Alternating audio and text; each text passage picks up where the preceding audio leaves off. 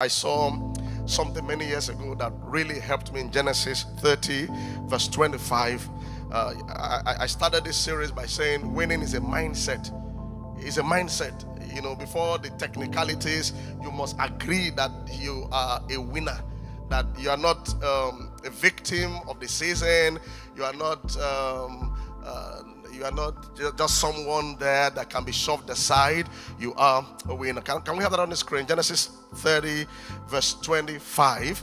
Uh, it was Jacob. Jacob just collected the blessing from his dad, um, that is Isaac, and then he had to, he fled because of his brother Esau. So when he left his father's place, he went with a with just a stick just a, like a rod and of course maybe knapsack.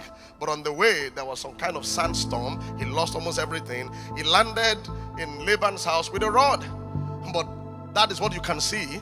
The things you can see are temporal but the things you cannot see are eternal. He was carrying a generational well, transgenerational blessings on his life. He was a winner. And when when he landed in laban's house laban was given to sorcery. Laban was given to witchcraft and guess what? The, the sorcerer or the priest that was helping him told Laban that this guy that has come will fertilize your business. So that, that was the main, people don't, that was the main reason he kept Jacob. He was the fertilizer. So everything began to blossom because this guy was a carrier. Say, I'm a carrier of God's blessings, of God's power. You are a carrier. We turn wilderness into a fruitful field. We turn emptiness to overflow.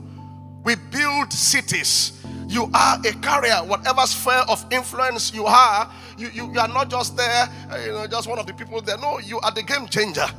Glory to God. So after some years, Jacob was tired. He now said, Okay, I, I want to leave. And then Laban confessed finally. Look at this. And, and Rachel gave back to Joseph. Jacob said to Laban, Send me on my way so I can go back to my own homeland. Verse 26. It was after like 20 years. 20 years. Give me my wives and children for whom I have served you, and I'll be on my way. You know how much work I have done for you. 27. But Laban said to him, That's the employer telling the employee, the orga, the boss, telling the omoishe, you know, that kind of stuff. He said, If I found favor in your eyes, please what? I have learned by what?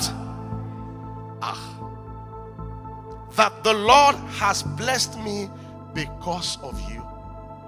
You have to confess. Ah, you, you can't go. You are the reason why we are building all these houses.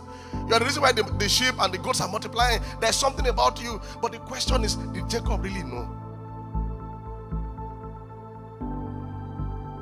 If you had known, maybe you should have left earlier. In that sense. Now, verse 28.